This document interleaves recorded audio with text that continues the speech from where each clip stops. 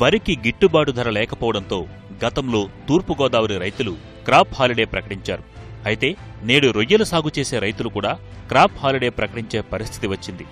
అధిక లాభాలు వస్తాయని పచ్చని చేలను చెరువులుగా మార్చి వరామీ రొయ్యల సాగు చేపట్టారు రైతులు. అయితే ప్రస్తుతం జిల్లాలో అనేక కారణాలతో ఈ సాగంటేనే ఆక్వా రైతులు వణికిపోతున్నారు. జిల్లాలో యాభై ఐదు వేల ఎకరాల్లో వరామీ సాగు జరుగుతోందని అంచనా కాగా కనీసం ఇరవై శాతం పంట కూడా రైతులకు దక్కలేదు. తొలి పంట కన్నా రెండో పంట రైతులను చావుదెబ్బ కొట్టింది. రెండు వేల పద్నాలుగు సంవత్సరంలో రొయ్యల రైతు పరిస్థితి బాగా దుర్భరంగా ఉందండి.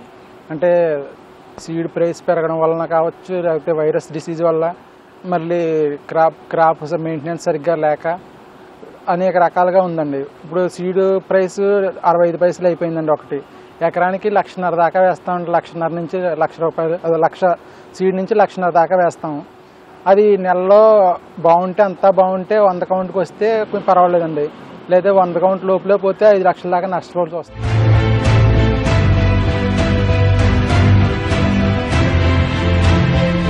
రొయ్యల సాగు ఆరంభంలో విబ్రో వైరస్ సోకింది.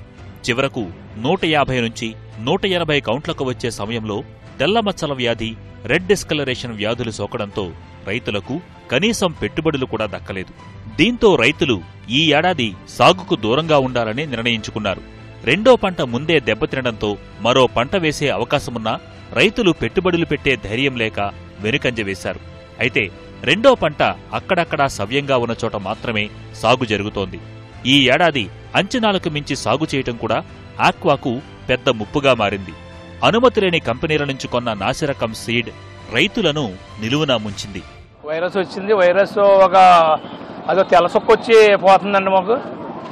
ఇప్పుడు ఇదివరకు రెడ్గిల్లు వచ్చిందండి. రెడ్గిల్ల మీద కొంచెం పర్లేకపోయిందండి. వైరస్ వస్తే మాత్రం రాత్రి రాత్రికి మొట్టెట్టేస్తుందండి. ఇప్పుడేమో మాకు అందరం కలిసి కాపాడే పెట్టుకున్నామండి. కాపాడో మూడు నెలల నుంచి మూడు నెలల దాకా వేయకూడదని చెప్పి కాపాడే పెట్టుకున్నామండి మేము. దాని గురించి అందరూ కూడా రైతులందరూ కూడా ఆఫ్ చేసి ఆరగట్టారండి ఇప్పుడు. ఇప్పుడు సీడ్ వల్ల కూడా కొంత వస్తుందండి మాకు. సీడ్లో కూడా నిక్కర్స్గా సీడ్ ఇవ్వట్లేదండి. సీడ్ క్వాలిటీ లేక రైతు చాలా నష్టపడుతున్నాడు. ఆ సీడ్ చివరిదాకా వెళ్ళటం లేదు. ముప్పై కౌంట్ దాకా కాదు కదా అరవై కౌంట్ కూడా రావటం లేదు. ఎనభైలోను వందలోను పట్టవలసి వస్తుంది సీడ్ విషయంలో. మేత చూస్తే రేటు బాగా పెరిగిపోయింది. వెయ్యి రూపాయలు ఉండేది రెండు వేలు అయిపోయింది. ఈ మ్యా మేత విషయంలో దగ్గర పడుతున్నాడు సీడ్ విషయంలో దగ్గర పడితే మేత చివరి దాకా తీసుకెళ్ళిపోతున్నాడు కౌంట్ రావట్లేదు చివరికి.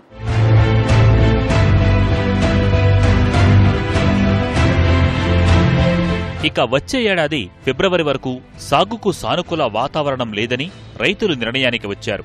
ఈ ఏడాది చేదు అనుభవాలను దృష్టిలో పెట్టుకుని వచ్చే ఏడాది ఆయకట్టుల వారీగా రైతులు ఒక షెడ్యూల్లో సాగు చేయాలని నిర్ణయించుకున్నారు.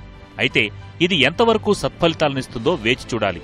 సాగు లేకపోవడంతో ఆక్వా అనుబంధ వ్యాపారం సైతం నత్తనడకన సాగుతోంది. దీనిపై ఆధారపడ్డ కూలీలకు కొద్ది నెలల పాటు ఉపాధి లేకుండా పోయే ప్రమాదం ఏర్పడింది.